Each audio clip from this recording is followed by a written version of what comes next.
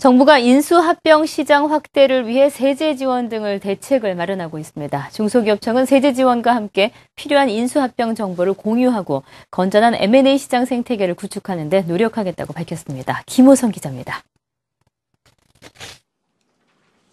중기청은 M&A 시장 정보를 필요한 기업에 연계하는 중개기관, 이른바 인포마켓의 효율성을 높이기로 했습니다.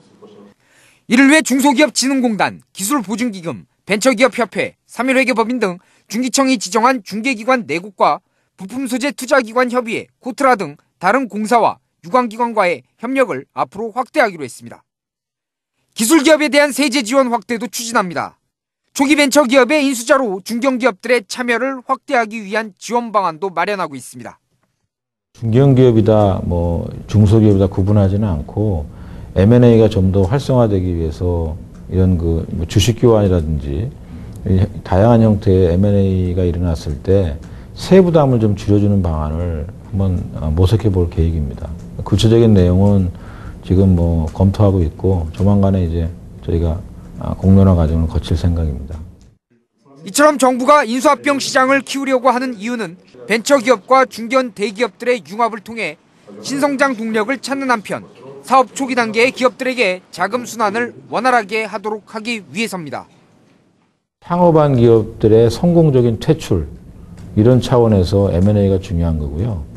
대기업이나 중견기업들은 혁신 역량이 좀 떨어집니다.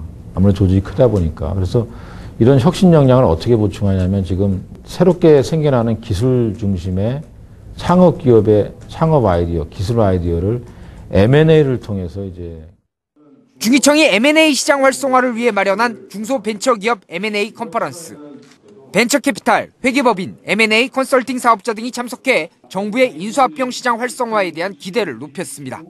여러 가지 아까 세제 혜택이라든가 이런 부분에 있어서 어 이제 양지에서 우리 중소기업이 창업부터 재생산까지 또 재도약할 수 있는 새로운 어떤 아, 기반이 되지 않느냐. 구글이나 시스코 등 글로벌 기술 기업들은 M&A를 통해 차세대 성장 동력을 확보하고 있습니다. 이번 정부의 M&A 노력이 대기업과 중견기업들의 차세대 성장 동력 확보에 그리고 초기 벤처 기업들의 자금 확보에 어느 정도 기여할 수 있을지 관심이 높아집니다. 한국경제TV 김호성입니다.